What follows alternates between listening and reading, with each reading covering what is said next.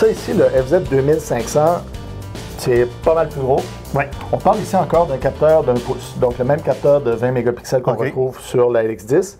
Euh, dans le fond, c'est comme un GH4, mais sans l'objectif interchangeable. OK. Donc, un bridge, tout est inclus dedans. C'est un un bridge avec un, avec un zoom puissant, parce qu'on s'entend quand même qu'ici on a un zoom donc de 24 à 480.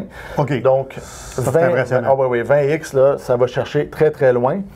Euh, Le zoom, je peux le contrôler avec l'application à distance aussi, si je veux. tout à fait, parce qu'il est motorisé. Donc, on n'est pas avec un zoom manuel. Comme il est motorisé, l'application va fonctionner. C'est-à-dire que si je- on le plaçait en quelque part à part pour comme on deuxième caméra, zoom, on pourrait sans aucun problème. L'application va vraiment bien. Ce que je trouve bien, entre autres, c'est aussi la- les, euh, les filtres de densité neutre intégrés à l'objectif. Ça, c'est assez unique dans ces types d'appareils-là d'avoir ça. Il n'y en a pas beaucoup qui ont ça. C'est une fonction qu'on retrouvait essentiellement dans les caméras vidéo professionnelles. Là, on la retrouve Parce ici dans ce même en photo, c'est le fun pour faire de la longue exposition. Ben, des longues expositions, tu n'as pas besoin de mettre des filtres par-dessus, c'est dedans, directement.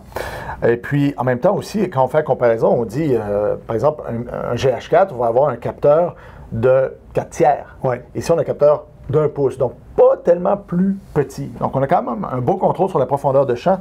Et ce qui est bien aussi, c'est qu'on a exactement la même interface, les mêmes menus.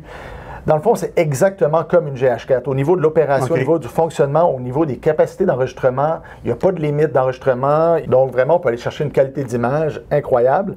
Et on a aussi la sortie HDMI qui nous donne l'enregistrement en 4.2.2 10 bits.